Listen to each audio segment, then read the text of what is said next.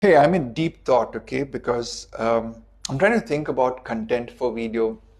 But so IVF clinics, fertility clinics want you, women to have kids, and you try and try and try, and then you don't succeed in going to an IVF clinic. I suggest to all women out there, please, before you do an IVF treatment, please do your genetic screen testing, BRCA1, BRCA2. Please do it.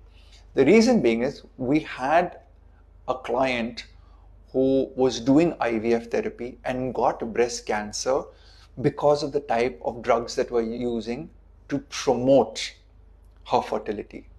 So in her breast tissue, she had there are different markers for estrogen and progesterone, positive or negative. So the IVF treatment actually conferred upon her breast cancer.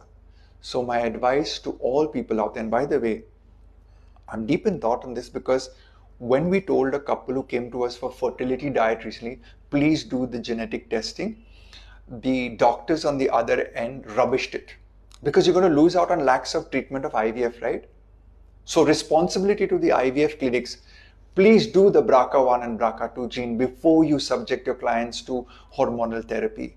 And from our end, we're going to continue to advise clients to do the genetic testing because personalized medicine, personalized nutrition is the new name of the game.